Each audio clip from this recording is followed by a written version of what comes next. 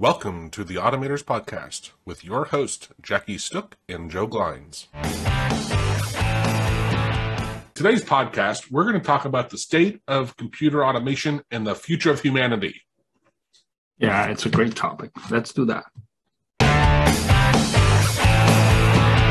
Hey everyone, it's Joe Glines here out of Dallas, Texas. Yeah, and Jackie still here from Copenhagen, Denmark. Yeah, so today's topic is kind of big the state of computer automation and the future of humanity. Um, AI is making some really huge, you know, progress in being able to do stuff that's it's quite amazing. Um, we have a couple examples here. I'll put the links in the uh, description of whether you're listening to this or or it's a video or whatever. But um, there was one example I saw recently on a on a brain implant on a paralyzed man, allowing him to quote unquote speak. You know, it's typed out on the screen, but he can reply to people with full sentences, um, and it's not well, from what we could tell, it's oh, it's actually sensing it. It was a sensor in the middle of his brain, and uh, it was just you know, it didn't seem like he was typing in letters, you know. So it was actually picking up the words it looked like, which was pretty amazing. Yeah, yeah, it was actually quite amazing. I, I would say it. The idea of being able to do stuff from brain implants. I, I recently saw. I, I know I talked to you about that. The I the Neuralink or something like that. I don't remember what it was, but it was a sub um, city of uh, one of the Tesla companies. I don't remember which one it was, but apparently they were a big backer of, of that piece of software or piece of hardware um, that would allow you to much, much more easily have um, something like this guy had instead of having big brain like surgery to get this stuff, uh, it would be a minor um, thing that was under the skin and not actually on the brain. So that was interesting. Yeah, I was going to look on Amazon and see if they had any that I could order. Um, maybe not yet. Uh, the, next one, which was to me, because I know you were the one that introduced me, Jackie, to, to Pat Flynn, um, but he, he showed the Descript uh, editor, and it, the video starts off where he's he type he doesn't talk at all. He just types something, and what he types is something like, "Wouldn't it be amazing if the computer could speak what I'm typing in my voice?" And then he compiles it, and within you know at least in the video, a couple seconds, hits play, and it really sounded like him, even his cadence and everything. And that was a uh, holy crap. That's that's creepy. Yeah, we, we didn't hear much from him about how long it had taken him to to train it or anything, but from how he presented it, it seemed as if it had been a piece of cake to actually make it do that. It it didn't seem like he had used a lot of time and effort on actually teaching the computer uh, to speak his voice. Yeah, so I, yeah, yeah, it was quite amazing. I do recall when I watched I watched the entire video a while ago, and uh, he said, you know, the the computer has to have access to a lot of your speaking, right? So it, it, it could be older stuff that you've done as well, but it does have to have access to it. But it doesn't mean that you're sitting here recording it specifically. You can feed it other stuff. But uh, anyway, there was that. There's the Copilot from GitHub, which is really cool as well. And now it's it's not in AutoHotkey yet, but um, other than I think Python had it, and maybe some of the other you know big languages. But it is assisting you in developing your code. And uh, Geek Dude, I think, actually had tried it, and he had replied to me and said, "Yeah, we don't have to worry about our jobs yet, but um, but it is a really big help." Yeah, that's amazing. It it it's interesting because it's one of the fields where they're talking quite a lot about this, um, not having to know how to program to be able to program, which is kind of a weird concept and not the first field one would expect that to be a thing in. But fair enough, programming is a lot of text and rules, so it might be a little easier to teach um, a computer how to do compared to some of the other more uh, outside world these things. So yeah. Yeah, and to that point, Jackie, um, this wasn't in our list of stuff, But uh, last week, just offhanded, I, I can't remember if it was actually, it was right at the very last second you and I were talking. Um, and I mentioned the whole trying to create uh, a couple apps for for this restaurant I'm helping, and, and I'm like, well, I didn't really want to pay to create a an, an iPhone app and a uh, Android app and blah blah blah. And you mentioned AppSheet, and um and I started looking into it, and it's you know it's a no code way to develop apps. Um, and I don't love their pricing. Uh, overall, I mean, what's great is if it's a small business and you have less than 10 people, then it's still free, right? Basically for you guys but um, it was pretty neat. I in in like 20 minutes, I didn't even watch any videos or anything. I just said, screw it, I'm going to create an account and see what I can do. And in 20 minutes, I created an app that would run on an iPhone or Android or in a desktop browser. Um, and I, I was able to, you know, have it where it would pull up the address book of people and text them, or you know, write an email, or even do a mail merge um, with with their names and stuff. It was very very impressive. Um, and again, no code, which is mind blowing that you can do something like that, right? And it, this is why I want to save that topic um, to go deeper in because I think it's a great one that, that we should do both podcasts and probably a webinar on because the when you break down how phones you know change compared you don't have to have a laptop or a computer right? And suddenly you don't have to have print. So anyway it'll be a really fun discussion. Um, and now the, the last one i think is just like uh, how we're using uh, alexa and the google assistant right? And we're kind of this is where i know you and i have talked about it. I know you've you've started using it and your kids have used it and my son's been using it for a long time. And it's really fascinating because i know when i first started using it this is quite a while ago we used to have a lot we still have a lot but just have a smaller house. Um, that i had to think cautiously ahead of time before i asked it something and it took me a couple times to really get my thought process straight because I was listening to um, um, audio. Um, what are they called? Ebooks or something. No, it was a playlist because I, I, wanted a certain yeah. order to it, and and so I had to say the artist, the playlist, and this, and it and it took me on. But now it's like my brain has been trained where it's I kind of think that way. I don't have to struggle to remember how to say the stuff, the order, and what to say. And uh, you know, it's it's I've kind of become so used to it now that it's ingrained in in me, and it's so much easier to use. Um, and this is where I think it's a good thing to start saying, like, okay, is is that a good thing, right? Is it a bad thing? Um, I don't see how it could be a problem. And in a lot of ways, I think compared to you know 20 years ago, we humans have gotten away from learning how to like form an argument and in logic and really you know get good at it. And now we're very undisciplined. So having structure to where you have to think about how you say things and do things in a certain way that's that's not a, to me a bad thing.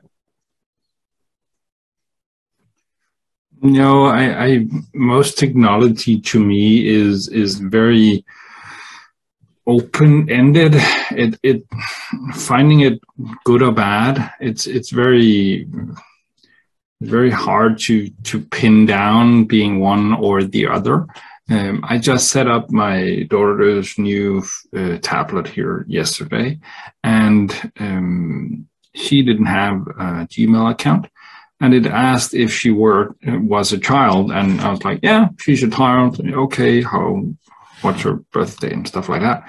Typed it in, and it was very clear that I could do quite a lot of things as the parent controlling the device. Mm-hmm. I'd say I haven't put on much um, limitation because she has had an unlimited device for quite a few years already. So there is no reason to start limiting her because she has already learned quite a lot of how to behave with the things. But yeah, it was interesting. But again, how much do I want to play Big Brother, so to speak? Um, do I actually want to follow along and be able to see whatever she's messaging or whatever videos she's seeing? I don't really have the time to keep a close eye on that. As long as I can go to her and see what she's watching and she's open about whatever she's doing, I don't have a problem with it. And a colleague of mine, he said the same thing at work with a different thing, and that was being followed by, I don't know, the government or whatever it might be, there's some things that's okay to be watched. And uh, I had another colleague who had a kid that was threatened on his life online. And sadly, the case ended with the police not really being able to do much because the company that owned the chat server that they were using wasn't willing to share any type of IP or any other information about the user in this case. And thereby, even the police actually ended up saying, yeah, it's not a case where we can use um, the needed leverage to move or sway this company to do it. Had it been, um, let's say, an actual physical offense, it might have been another case. But in this one, mm, not really. And that to me is a little sad because nobody should be allowed to threaten other people on their life. I don't care if it's in a digital format or chat or whatever. To me, it's something that just shouldn't be allowed. People can have arguments and they can disagree and they can do all kinds of things. They can even name call to whatever degree they want to do that, but actually threatening people on their life. And I know where it, this guy, this, this, this was a child who, of course, didn't have the needed filter to maybe understand the limitations of what was being said.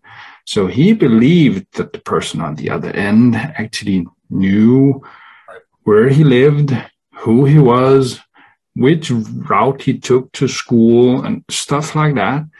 So he became truly afraid. And to me, that's that's one of the places where I'm like, yeah, maybe it's okay if if law enforcement or whatever, as long as it's still due process and all that stuff, can be allowed to watch that stuff because the digital world has moved very quickly. Yeah. And the politician and law and stuff like that hasn't been able to follow along. You yeah. can do amazing things on a computer with code and whatnot.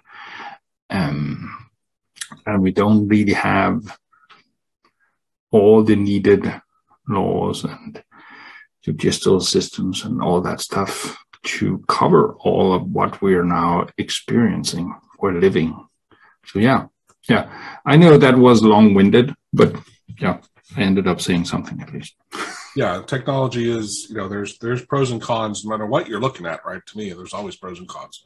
Um, now, now the other one though I would say is like like for me, and I actually I, I don't I don't know if we've talked much about this. I, I live by my calendar, right? Like I put everything in my calendar. If I want something to get done, I put it in my calendar because I can't. I just it's not that I can't remember; it's that I don't want to have to try to remember, right? So I trust mm-hmm. the thing to remind me of things, and then it frees me up, and that's where I think some. I know there's proof, you know, there's evidence that shows it's a, you know, your brain is like a use it or lose it, and if if I by not using, you know, my brain to keep track of time and events, um, I'm probably really suck at it now. If suddenly phones went away and I didn't have a uh, a phone with a smartphone with a, a, way to see my calendar and it first remind me. But um, at the same time, I love it because it frees me up to really focus on everything else and not have to try to remember all these minute details, right? Which is crazy. We've we've talked about different parts of this at length, and and one of the things is um, expecting things to go away is probably not viable or whatever you'd call that. It, I know that the human race have had ups and downs throughout history and we, we only have 40, 50, 60, 100 years of experience. Um, but still, I do hope that this time around, we're not going to do something very weird and kill or whatever half of us and have some kind of apocalypse where all technologies or science advantage or whatever it is goes away. So you not having to remember your appointments or in my case, one of the things that I've thought about a lot is I can still remember my um, childhood phone number from from my uh, parents' house because I needed it. My friends needed to know it if they wanted to reach me and stuff like that. But I haven't used it for 30 years, right? But still, it's there. But now I can I can remember my wife's phone number, but my kids, yeah, I, I, I can't because I've never really had to. They've always just been on my phone. And it's the same with newer friends, colleagues. I I wouldn't be able to I don't know have a breakdown in the car and having to borrow someone's phone, right. uh, I wouldn't be able to call more than a handful of people. That that's about the phone numbers I still remember, um, and the rest of them are just remembered for me. If I need to call this guy up, I'll find him in my contacts and do that. Uh, and as you said yourself, maybe we use the ability or we lose the ability to then remember 8 10 12 digit numbers or whatever it is but maybe we won't ever need to remember that right who knows that it might be a thing of the past now. Well and yeah and and i have another we have another um, topic that at some point we'll cover of the whole learn it now versus you know learn a little bit now and then use youtube or google or whatever it is to to learn what you need to know in the moment. Um, and it's it's that's a whole discussion there but it it really is interesting how things have changed. And there's no way you can learn everything you need to know now right and that's where it gets back to 20 30 years ago life was much simpler right so i think it made a lot yeah. more sense to and things didn't change as fast so it made a lot more sense to not to to go ahead and remember all these things. Um, now with things changing so fast and everything, I, I don't think we have the capacity uh, to keep up with things as much as we used to. No, I, I, just a few examples, but one of the things that we talked about uh, some time ago was, I think it was Facebook, the Melinda, not no, it was um, yeah, the owner of Facebook and his wife or whatever, they have a foundation just like Bill Gates and Melinda Gates had or have. Um, and one of the things they wanted to use money on was making a system to keep track of all um, uh, what was it biochemical um, research papers something like that that's just one of the, the ones I remember. They wanted to make a tool that would make it easier and simpler for scientists in a specific field to keep on top of whatever had uh, come out of new research. And in that news article, um, one of the things they pointed out was that in bioengineering, 80 thousand papers are released weekly around the globe. So, so whoever you are, you will never know everything that went on last week in your field. It's just not possible. Uh, half of those might never be peer reviewed and might not need to have you actually look at. And the next half of those that are left might not really be interested, but still, you might still end up actually having a thousand papers or reports or whatever uh, they call them um, that might have something to do with the specific thing that you're working on. So, because we're just shy of 8 billion people, we're, we're getting a lot of stuff done. And actually being able to grasp all of that, we we might actually need something like uh, AI.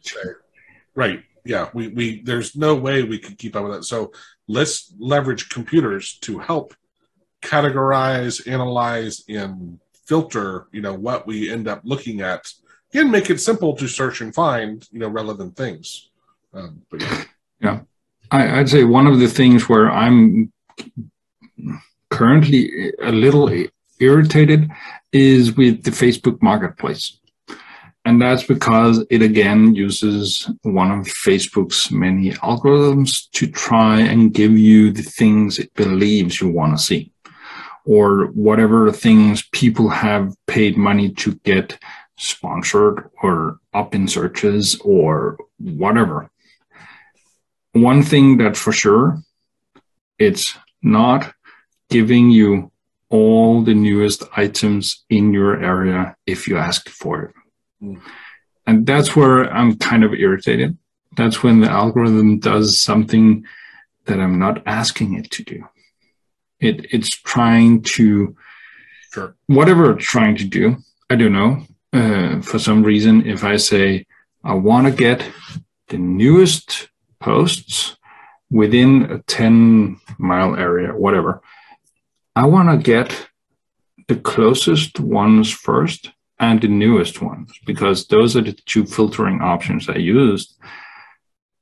But if I do it again in an hour, I'll get a few other posts in there and it will say, this was posted nine hours ago or whatever.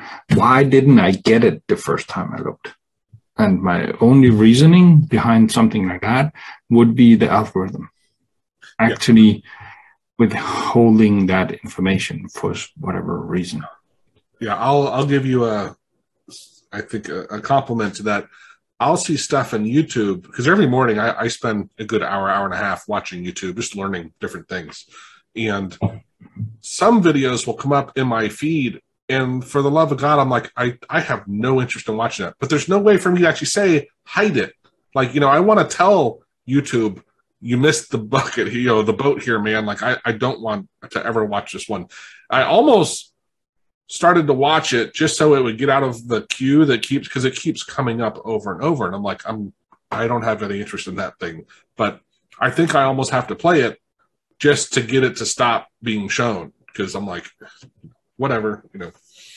Yeah. Yeah, I'm, I'm, I'm like I had the same thing uh, or a similar thing with Facebook, where after scrolling the page a few times, it came up and said, "Would you be interested in seeing more of this um, kitchen aid type stuff?" And I could say uh, yes or no, or X or Y, whatever. Um, and, and I, I started saying, no, I don't want to see that. No, I want to, don't want to see that. And then I stopped because it had four more. It wanted to ask me. It showed how many it had. I was like, I might want to know that next week or the week after. So right now they're trying to narrow down what I want to see or try and give me exactly items that are more interesting to me but I'm answering the questions from a here and now. Right now, I'm not looking for roller skates for my kids. Or right now, I don't want to see more mirrors up for grabs, or whatever it might be. But in two weeks, might be the only thing I'm looking for. And I don't always want to search a specific word. Sure enough, if I'm looking for a mirror, yeah, but I might actually just want to watch decorating items. Who knows? And I don't want them to remove all the mirrors from that just because I said that for 50 whatever days ago, right? It, it's to me, it's like it's taking some choices uh, or deciding some stuff for me for a period of time that I don't know. I don't have access to any kind of settings where I can take my choice back. I don't have any kind of say after that. It's like, oh, he didn't like watching kids' clothes. So from now on out, we'll never show him more kids' clothes. Like, You know, that's not what I wanted to do. When, when I was at TI, um, the guy in charge of keeping TI.com up and running, um, he gave a presentation and he was talking about how like his niece or something at some point on Amazon had looked at a Barbie doll, and then he would kept going back to Amazon. They kept showing him Barbie dolls, and he's like, I don't have an interest, but he saw that Amazon allows you to go in and remove stuff from your browsing history to help kind of negate this, right? And it's again, they're of course on the cutting edge, the the leaders um, in this this field. Um, but it was a really good point of like that's you know, let people kind of be able to choose what they, you know, have shared in, in what people can see. And that was one which um, someone mentioned because we, we have another topic, actually, probably our next one uh, is the Windows 365, Windows in the cloud, pros and cons of it. But um, when Isaias and I had a quick call on this when it first came out of the Windows in the cloud, and we discussed a bit about privacy and who owns the data. And then someone commented on the the the video like, well, oh, there's all these policies from Microsoft, whoever, then this and this and this. And I'm like, you know, and I said, you know, I don't know you from Boo. I didn't know that recognize the, the viewer. But I'm like, I don't, even if I had, I'm like, I don't trust what they say. I don't trust, you know, Microsoft or Amazon or any of these guys to actually truly do what they say they're going to do with the data. I just, no matter what you tell me, I'm just not going to believe it. Yeah, it's one of the hard parts of this last year of um, Corona information and all that stuff is I've at least a few people on my Facebook feed and and a few in my immediate circle that some are of the exact conviction as me, and others have varying degrees of opinions about all the different information but still, uh, I think we talked about this recently. People who have one sided opinions about it often end up in a loop on these uh, social where the AI is controlling it and sending them more and more of that information because that's what they interact with. And again, it's kind of AI in a black box it's doing some stuff. It's trying to please you because it's in the best interest of the company that has the platform. They want to keep you on the platform. They don't as much want to inform you correctly as much as they actually want to keep you around so they can push more ads on you or whatever it is they do you recall the special that you told me about on netflix um, with the, the the one on clicking and how they're trying to you know the AI stuff. Do you remember the name of that one? Yeah, yeah. You gonna make me guess or what? Do you know the name? I I I recall the actual documentary, yep. but I don't recall the exact name. We'll figure it out. We'll put it in here because it's a great. It was a it was a phenomenal um, show. I, I, really loved it, and some of what you're describing yeah. there was really interesting too. Is like they put stuff that's either can get a positive or the, the likelihood of you either you know commenting or liking or hating like that's what it does automatically right and it's it's kind of a scary thing um, where i was going to go slightly because i don't want us to get way off on politics but um, it's fascinating to me. There's this whole discussion which which is fits for this one of should AI really be deciding what we see, right? And you and I have talked a lot about that. Um, and it, it's, yeah. scary at the same time. But where I wanted to, to briefly go is recently with some things like on the 2020 election or around COVID or whatever, you know, at least here in the States, the government is dictating, you know, to Facebook what to share and not share and what to show and what to emphasize. And you know, I'm not sure which I'm more afraid of, honestly. Um, it, both are bad, um, in my opinion. I'd, I'd rather have it just open, you know, not someone.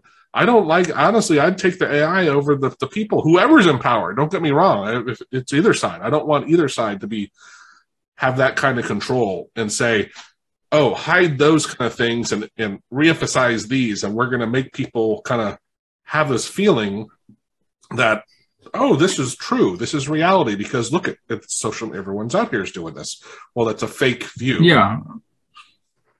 If if let's say the the the AI or the systems that are carrying the AI or whatever um, were truly unbiased.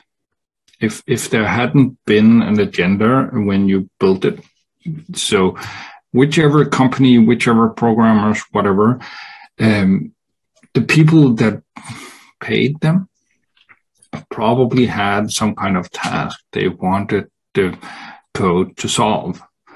And that's what they did. Why shouldn't they do whatever the customer asked for? And so I'm I'm very hard pressed at believing that most of the AI we have access to now is unbiased when you put it in a social media, when you put it in a search engine, when you do all these types types of things. If you do some deep learning yourself, uh, we there are some great AutoHotkey guides on doing stuff like that. You'll see that the code per se, the algorithm per se, isn't weighted in any type of other way than what the data gives it. But we wouldn't have any way to determine from sitting at the user point of view if that was truly the case with how Google is presenting the results on whatever uh, sugar in food. Who knows, right? It it might have a, there might be a few options on the server uh, with um, a Google technician where they can actually weight it specifically to give you stuff that might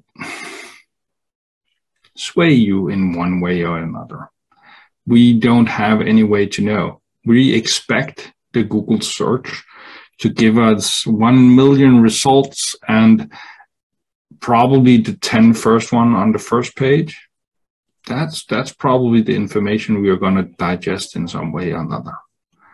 But is it actually the information on page 1000 that's correct? Or the one on page 10,000? Nobody actually gets that far because, oh, that's, that's usually not the case. Because when we go to page two or three, we kind of see sites where we're like, nah, that's not even the topic I was talking about, stuff like that. But more often than not, you, if you ask anybody who does SEO or anything for web pages, if you're not on the first page on the search that people make, the traffic is not going to go to you. People just don't go beyond the first 10 results they'll be more, much more likely to do a new search than they are actually clicking the next button. And again, so why wouldn't Google optimize their search engine for those 10 results? It, it just makes better sense. That's why when you look at page three or five or something like that, that it's truly up in the air because that's not where their focus is. It's on the first page because that's where people are looking. And if they have made an AI system behind the scenes that tries to give people the best results on the first page, it will wait in and do that as best it can. And whatever types of weights they used to get it to do that, that's where we're in the dark, right? If, a lot of the systems are this way. Awesome. Yeah, and, and getting back also to us uh, being like programmers, do we have to worry that AI is taking over? Um, I know you, you and I have talked about this a lot on different times, and, and yeah, it's it's definitely going to be taking more and more you know jobs overall but they're the lower end jobs they're not the higher end and hopefully it frees up people to focus on the you know things that humans are good at I'd, I'd say, sure enough, um, you will be sitting there having your pretty highly educated job uh, with a good, fair amount of job security. and you have an assistant as well. She has maybe half the education that you have, and she's very good. She has quite a few years of experience. Next year, you don't need her because there is a program that could do the exact same research that she does. Stuff like that. That's something that we might have happen. It might also be the colleague in the office uh, just down the hall that that disappears because she was old, she went on pension, but the company doesn't need to hire anybody new for that position because now we have that Microsoft system and it's actually much better at collecting all of the bills, whatever it is. Right? It, stuff like that will be how we see it most, I think, is that we'll slowly be getting programs and they'll be extended and have more and more functionality and a few or most or whatever I, I can't really predict that will not see it at first it, was the um the netflix special the social dilemma does that sound right? Yeah that sounds right yeah. Okay, thank you yeah i'll put the link in the thing. Um so yeah i i think it's a it's a un, never ending you know chapter on technology and, and humans over time start using technology you know to, to be more efficient right? And it's been happening for thousands and thousands of years and you know it's going to continue to keep on happening and we shouldn't be too afraid of it but uh yeah it's still going to be I don't i don't think we need to be actually afraid of it. That that's my biggest take on it. I don't see any reason to be afraid of it. Um of course, if you're afraid of using losing, I don't know, perceived rights of some kind, of perceived freedoms of some kind, or if you don't want the government or whoever a company to be able to push their agenda on you with misinformation, sure, you can be very, or you can worry about those things, but in general, I don't see it as being bad for humanity. Well, and so I think actually to, to sum up this and, and, roll up on it is uh I would totally agree with what you said. I, I think I, I am more afraid of people in power misusing technology and doing bad with it than the technology itself being innately bad and, and scary. So yeah, that's it's a great way to yeah. summarize the end of it there. So awesome. Great chat. Bye. Yeah. Bye.